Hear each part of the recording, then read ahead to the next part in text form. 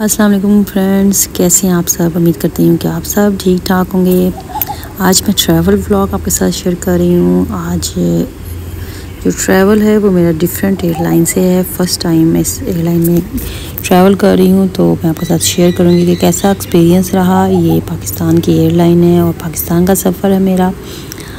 तो छोटा सा ब्लॉग है। मैंने कहा, चलिए मैं आपके साथ इस एयरलाइन का रिव्यू भी दूँ और मैं बताऊँ कि कैसा मेरा सफ़र रहा। तो यहाँ पे आप देख सकते हैं ये दुबई टर्मिनल जो है ये वन है। ये सरीन एयरलाइन के बारे में जो मैं आपको बता रही हूँ। सबसे पहले जो न्यू व्यूज़ अभी मेरे साथ जुड़े हैं, जल्दी से मेरे चैनल को सब्सक्राइब करें फैमिली फ्रेंड में शेयर करें वीडियो पसंद आए तो ज़रूर लाइक किया करें। तो आइए देखें ये ब्लॉग एंड तक। और ये आप जो देख रहे हैं, ये ड्यूटी फ्री शॉप है और क्रिसमस की यहाँ पे डिकोर की गई है, क्योंकि क्रिसमस जो है वो आने वाली है।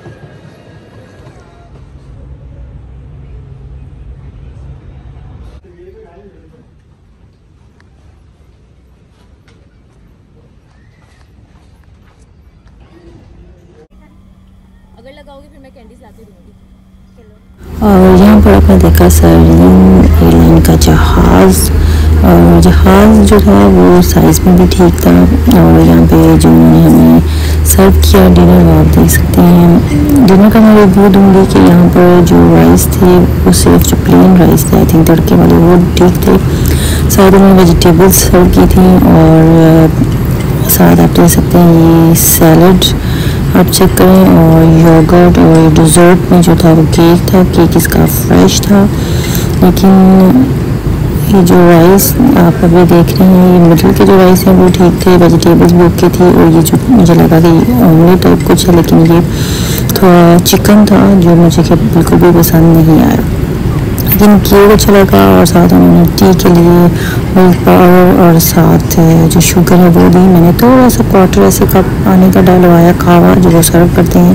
फिर उसमें थोड़ा सा दूध डाल के मैंने उसको जो है थोड़ी सी शुगर ऐड कर कर वो मैंने उसकी चाय बनाई। तो यहाँ पे रात का टाइम है देखें अब जो है जहाज़ है, वो हमारा पहुँच चुका है लाहौर में एयरपोर्ट में। तो अलहमदिल्ला सफ़र सही रहा सीट भी इसकी ओके थी। ठीक थी। क्राउडी था, बहुत ज़्यादा जहाज़ फुल था, क्योंकि काफ़ी लोग जो है वो ट्रैवल कर रहे थे। उम्मीद करती हूँ कि ये ब्लॉग आपको पसंद आया होगा। टाइम से ये है कि जहाज़ ने पहुँचा दिया था। तो आप देख सकते हैं, ये लाहौर एयरपोर्ट है। लेकिन बहुत ज़्यादा एयरपोर्ट इन्होंने कंजेस्टेड बनाया हुआ है, जिसकी वजह से जब फ़्लाइट्स आते हैं, आप देख सकते हैं, इतना ज़्यादा क्योस हो जाता है। आप एहतियात करें, एक स्टेट से बजाय जो है स्टेट से आएँ ताकि आपको धक्का वगैरह ना लगे। उम्मीद करती हूँ कि ब्लॉग आपको पसंद आएगा। न्यू ब्लॉग के साथ हाजिर होंगी आप सब अपना बहुत ख्याल रखें। शुक्रिया, अल्लाह हाफिज़।